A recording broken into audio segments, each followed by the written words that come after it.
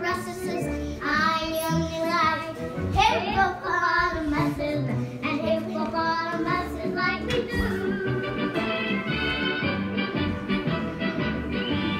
This is what we do when it's not saying any words. It's great. Look, Mom, there's a hippo. What do you mean about them? The teacher says a hippo is a vegetarian.